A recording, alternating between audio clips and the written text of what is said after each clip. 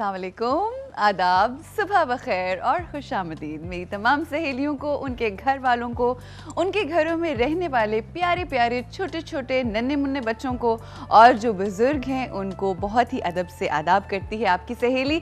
उम्मीद है आप लोग ठीक ठाक होंगे। हफ़्ते का आगाज़ है, पीर का दिन है और बिल्कुल जिसे कहते हैं ना, बिगड़ेंगे और दो दिन की छुट्टियाँ गुजारने के बाद जो एक एनर्जी आ जाती है और जो एक लाइफ दोबारा से मिल जाती है, आई थिंक वो बहुत अमेजिंग होती है और छुट्टियाँ तो खैर होती हैं मगर छुट्टियों की ख़ास बात ये होती है कि आपको अपनों के साथ वक्त गुजारने को मिलता है और जो वक्त अपनों के साथ गुजारा जाता है आई थिंक वो बेहतरीन वक्त होता है। और मैंने तो पिछली दो छुट्टियों के अंदर सिर्फ़ और सिर्फ़ एक काम किया और वो था रिलैक्स करना। इतनी मुझे नींद आई पूरे दो दिन कि मैं आपको बता नहीं सकती। But it was great it was super अच्छा एक uh, बात जो मैंने अपनी सहेलियों के साथ शेयर करनी है। हर रोज़ कोई ना कोई ऐसी चीज़ होती है जो मैं एक्सपीरियंस करती हूँ और फिर मेरी कोशिश होती है कि आप लोगों के साथ शेयर की जाए।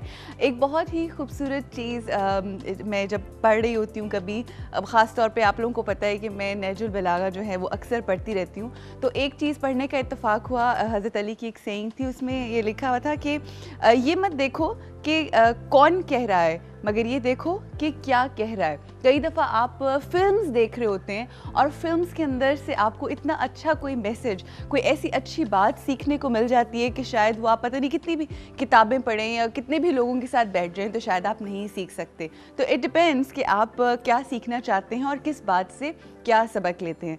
अच्छा एक फ़िल्म है जो मैं अपनी जो देखने वाले इंग्लिश की फ़िल्म है, मैं जितनी भी मेरी देखने वाली सहेलियाँ हैं, उनको ये कहना चाहूँगी कि वो अगर इतफ़ाक़ हो तो ज़रूर देखें और साथ ही साथ अपने बच्चों को दिखाएँ। वो ये उसका नाम है उस मूवी का पेड फॉरवर्ड और उस मूवी के अंदर जिस तरीके से बताया गया है कि किस तरह से आपने किसी के साथ अच्छा करना है, और कुछ उस कहानी का स्टार्ट होता है कि एक बंदा है, उस वो बड़ी मुश्किल के अंदर होता है, और कोई शख्स उसके साथ कोई भलाई करता है। और उसके बाद वो जब भलाई कर लेता है और वो थैंक्स बोलता है उसको बहुत ज़्यादा तो वो आगे से कहता है कि आप मुझे थैंक्स मत बोलो, मगर मेरी आपसे ये सिर्फ़ ख्वाहिश है कि आपने, जिस तरह से मैंने एक छोटा सा अच्छा नेक अमल या भलाई आपके साथ की। आप, इसी तरह की कोई भलाई जो आपकी कैपेसिटी के अंदर हो, जो आप कर सकते हो, वो आप दो या तीन लोगों के साथ आगे कर दें। और ये सिलसिला इसी तरह से जब चलना शुरू होता है फ़िल्म के अंदर तो एंड पे पता चलता है कि वो एक शख्स की की हुई भलाई से आगे से आगे से आगे, से बिकॉज़ हर वो शख्स जो भलाई कर रहा होता है, जिस बंदे के साथ भलाई कर रहा होता है, उससे यही बात कहता है कि आपने बस दो और लोगों के साथ भलाई करनी है। और ये मैं सोच रही थी कि अगर हम सब ये चीज़ सोचना शुरू कर दें और इस चीज़ को जहन में रख के अगर हम काम करें, आप ये सोचें कि किस कदर भलाई जो है वो अच्छे काम, नेकी के काम और पॉजिटिविटी जो है वो हर तरफ़ फैल जाएगी। And I think it's about time for all of us to think about it and do good to each other हमें एक दूसरे के साथ अच्छा करना है अच्छा सोचना है, और अपने लिए तो हर कोई अच्छा सोचता है, मगर दूसरों के लिए जब आप अच्छा सोचते हैं तो पता क्या होता है? होता ये है कि अल्लाह की ज़ात जो है वो आपके लिए अच्छा सोचना शुरू कर देती है। And I think it's about time कि हमें हर किसी के साथ जो ये सिलसिला है नेकी का इसको फॉरवर्ड करना है पेट फॉरवर्ड और इसको आगे बढ़ाना है। और इसी तरह से हम अपना पाकिस्तान हम अपनी ये दुनिया बदल सकते हैं। अगर आपने रिसेंटली कुछ अच्छा किया है किसी के साथ हम आ, लोग कहते हैं ना कि जो अच्छाई करो नेकी कर दरिया में डाल। लेकिन कई दफ़ा ऐसा होता है कि नेगेटिविटी आज के दौर के अंदर हम हर तरफ़ देखते हैं मीडिया के ऊपर, इस कदर फैल गई है।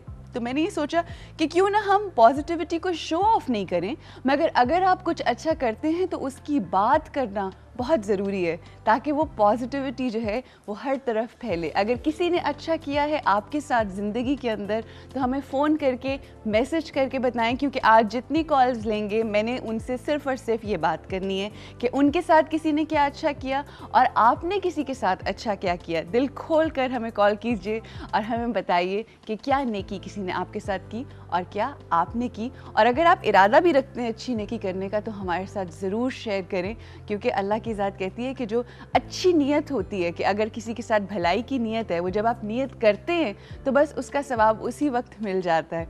और बुराई जब तक आप कर नहीं लेते, बुराई का इरादा आपको गुना नहीं देता, जब तक बुराई आप कर नहीं लेते, तब तक आपको उसका कोई भी जैसे कहते हैं ना सज़ा वगैरह नहीं मिलती।